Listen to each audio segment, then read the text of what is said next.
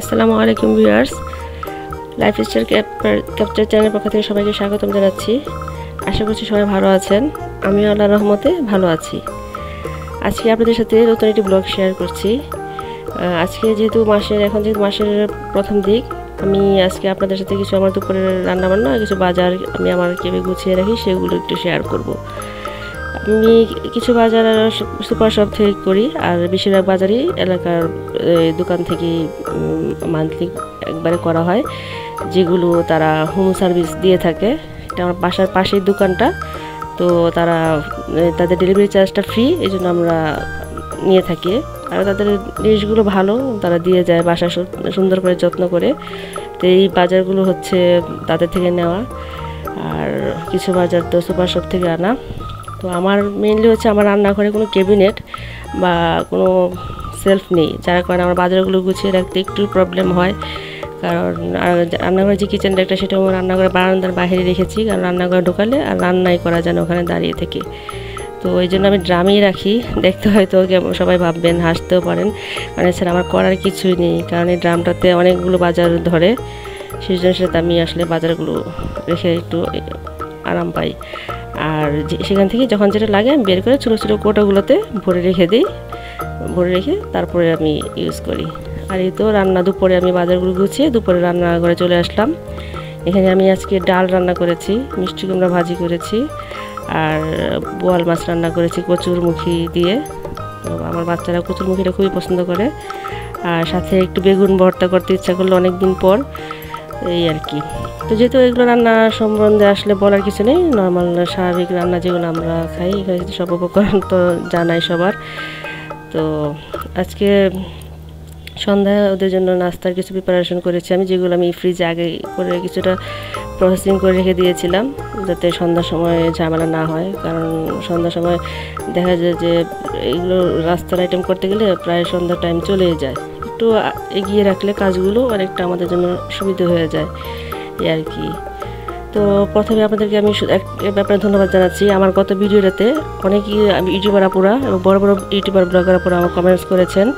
আমি আসলেই তাদের প্রতি আন্তরিকভাবে কৃতজ্ঞ এবং অভিভূত। কারণ এভাবে যে আমি রেসপন্স আমি আশাই করতে পারিনি। কারণ আমি অফ ক্যামেরার অফ সামনে তো কথা বলা দূরের কথা। আমি কথা বলতেই আমার খুব মানে আনিজি লাগে।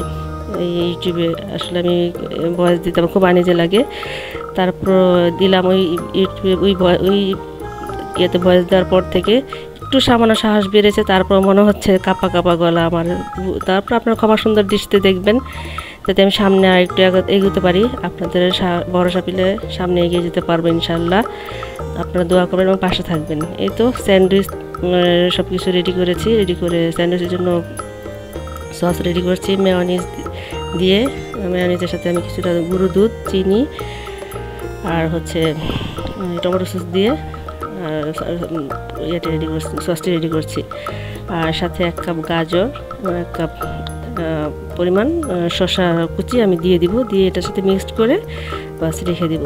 আর পাউরুটির সাথে ওরা এটা এর সাথে মিক্সড করে খাবে। আর বাকি যেটুকু থাকবে, সেটুকু পরের দিন হয়তো স্কুলে টিফিনে নিয়ে যেতে পারবে। ফ্রিজ স্টোর করা থাকবে ওটা। এই আর কি। তো আমার বলার মধ্যে আসলে অনেক ভুল, অনেক আছে, অসংলগ্ন আছে। এটা এগুলো প্লিজ স্কিপ করে যাবেন এবং ক্ষমা সুন্দর দৃষ্টিতে অবশ্যই দেখবেন। কারণ বারবার বলছি, আমি ভয়েস দিচ্ছি নতুন এবং আপনাদের এই আসলে আপনাদের সহযোগিতা পেয়ে আরেকটু সাহস মনে বেড়ে গেলো যে আসলে মনে হয় যে আমি দিতে পারব। তো সেই আশা রেখে আজকে এখানেই বিদায় নেব আমি। এবং পরবর্তী ভিডিওটা যাতে আরেকটু ভালো করতে পারি, ভিডিওর কোয়ালিটি ভালো করতে পারি, কথা বলার সিস্টেমটা একটু ভালো করতে পারি, সেই দোয়া সবার কাছে। আর সবাইকে আন্তরিকভাবে ধন্যবাদ জানিয়ে আজকের মতো আমি এখানে বিদায় নিচ্ছি। আসসালামু আলাইকুম, আল্লাহ হাফেজ। সবাই ভালো থাকবেন এবং আমার চ্যানেলের পাশে থাকবেন। আর যদি ভালো লাগে, তাহলে প্লিজ একটি লাইক দিয়ে রাখবেন। এই লাইক আমার চ্যানেলের জন্য অনেক উপকারী এবং আপনাদের মূল্যবান কমেন্টস সবচেয়ে বড় কথা, আপনারা যখন কমেন্টস করেন, তখন আমার এত এত ভালো লাগে যেটা আমি আসলে ভাষায় প্রকাশ করতে পারব না। যে এটা আমার জন্য যে কত বড় পাওনা। আমি এবার যে কমেন্টসগুলো পেয়েছি, আমি, আমার মনে হচ্ছে যে আমার কাজ করার আগ্রহ মানে দ্বিগুণ হয়ে গিয়েছে।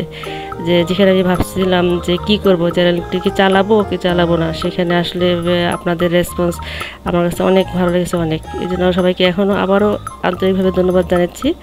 ধন্যবাদ জানিয়ে আজকে শেষ করলাম। আল্লাহ হাফিজ। আসসালামু আলাইকুম। সবাই ভালো থাকবেন এবং আমার পরিবারের জন্য দোয়া করবেন।